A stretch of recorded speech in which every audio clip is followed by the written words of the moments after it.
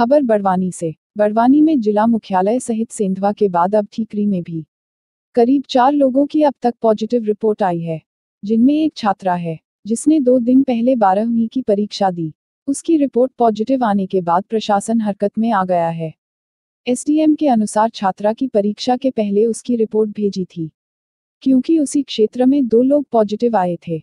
हालाँकि छात्रा में किसी तरह के कोई भी लक्षण कोरोना जैसे नहीं दिखाई दिए। छात्रा एकदम नॉर्मल थी।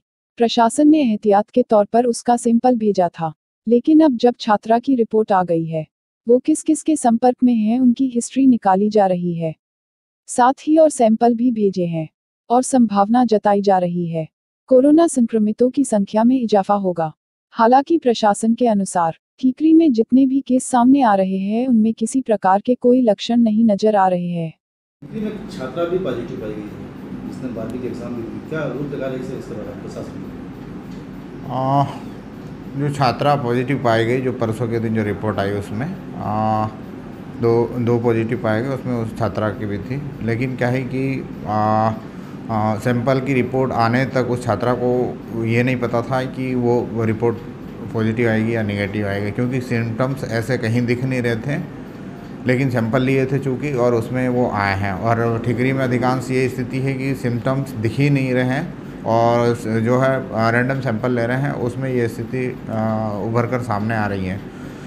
तो ये जो जहाँ तक एग्ज़ाम देने की बात है तो जब पहले किसी भी एंगल से कोई आइडिया नहीं था, इसलिए उन्होंने जो दी है तो हम लोग ये ट्रेस कर रहे हैं कि एग्ज़ाम में कितने लड़के बैठे थे और कहाँ कहाँ उसकी जो सीटिंग अरेंजमेंट थी वो देख लेते हैं और उसके आसपास कौन बैठे थे उनको भी जो है हम लोग सैम्पलिंग करके होम क्वारंटाइन की वो कर रहे हैं और सैंपल दिलवा देंगे।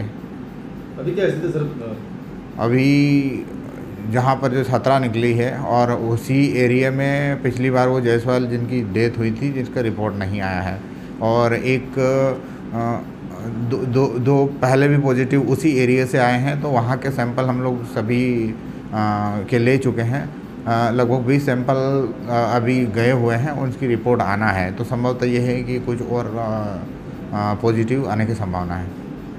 खबर भारतवर्ष के लिए बडवानी से सचिन राठौर की रिपोर्ट अपने शहर अपने प्रदेश की ताज़ा खबरों के लिए लाइक करें शेयर करें सब्सक्राइब करें। और हाँ बेल आइकन दबाना ना भूलें। क्योंकि खबर हमारी फैसला जनतंत्र का।